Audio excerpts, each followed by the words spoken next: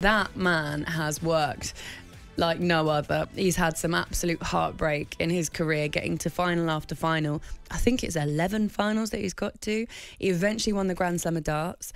Um, and that was his breakthrough, really. But to come and, and win the world in his fourth World Championship final against Michael Van Gerwen, who's been there and done it and won three Yeah. of them and also to do it in the manner that he did do it as well. Because one thing that, that he was criticised for a lot, Gabby, is people were saying he was getting into a final and then losing it, um, and they would criticise his. Um, mental strength you know they'd say he's a bottler a bottle job basically and it was Mm. Can't never it it was never yeah. that it was just it was just getting over the line on a, on a big stage and now he's done it i think everybody that's connected to, to darts in some way was really happy to see this Yes. for him because he's actually a, a great Do you think guy he'll dominate now?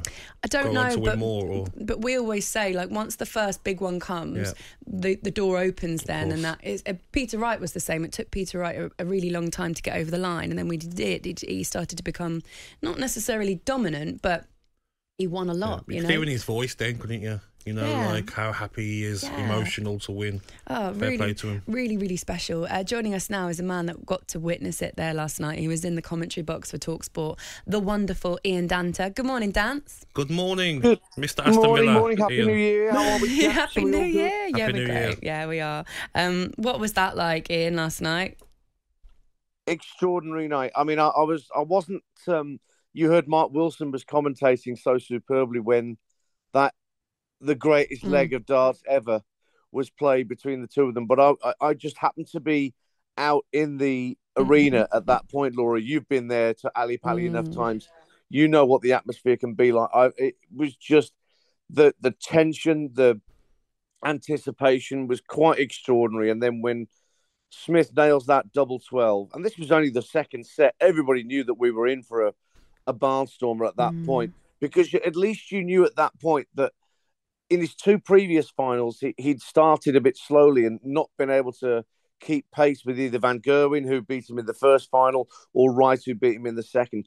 Once he'd nailed that nine darter, you just got that feeling in, in the water that, okay, whatever's going to happen, he's going to be able to at least keep pace with Van Gerwen and see where it gets us later in the match. And then he goes ahead in the seventh set, uh, four sets to three. And I think that was one of the first times that Michael Van Gerwen had been behind in the whole tournament, if not the first time. Yeah. And from that moment, you'll have seen as well enough times, Laura, that, that Michael Smith is a very good front runner. Mm. Once you get his nose in front, it's hard to to to peg him back. So fantastic for him. I'm so pleased for him. I, I think that's it as well. That your the, the the pleasure in your voice and the way you're saying that, I think, is shared by some people, a lot of people in the world of darts, isn't it? Because they're so willing Michael Smith to to win a world championship. you, you think about how you know t- 10 years or so he's been uh, plying his trade as a as a PDC professional you mentioned the number of major finals he's Mm. been in and not been able to convert it he really has been one of darts nearly men for a very very long time and having lost the final last year to Peter Wright uh, you know people were expecting 2022 to have been a bit of a drop off year for him but you mentioned he won the Grand Slam in Wolverhampton. He'd also won the US Darts Masters, uh, uh, Mm. Darts, Darts Masters earlier in the year in New York. So there were signs that that millstone was, you know, getting lifted from around his neck. Mm. Uh, and he had some dodgy moments in, in this championship. Don't get me wrong; he was very nearly knocked out by Martin Schindler, the German, earlier in the competition, who I think was sat on 76 for the match. And Michael Smith had one dart at a double to keep himself in the match. Once he'd hit that double, prevented Schindler taking out 76. He then came from three sets to one down to beat him 4 3. So it's not been plain sailing for him. Meanwhile, Michael Van Gerwen had been absolutely annihilating everybody.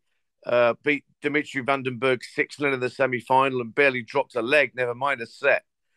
And yet, once Smith got his nose in front, Van Gerwen's games seemed to desert him. It was amazing stuff. Talk Sport Breakfast with Laura Woods. Monday to Wednesday morning, 6 till 10. On AM, on DAB, via the TalkSport app, and on your smart speaker. Talk Sport.